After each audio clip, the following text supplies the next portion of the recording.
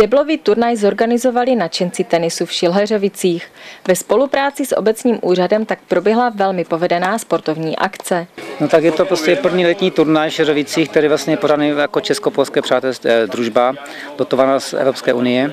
Na startovní listně bylo nahlášeno 12 párů, které chtěli poměřit své síly. Boje byly veliké, zápasy téměř vyrovnané. Jedná se o doblový eh, turnaj čtyřher. Hráči jsou samozřejmě tak půl na půl, je, to, je tu 8 dvojic z Lešerovic a 6 dvojic z Antošovic. Nádherný turnaj, dneska dá se říct, že celou sobotu Šilžovice žijí tenisem a samozřejmě i hokejem. Pro vítěze byly připraveny poháry a diplomy. Nesměla také chybět cena útěchy. A patří jim velké díky za to, jak to zorganizovali, uspořádali a myslím si, že všechno je perfektně připraveno.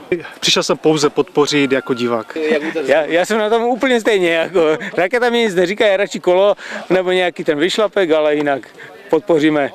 Je to přece, přece jenom pro obec něco dobrýho.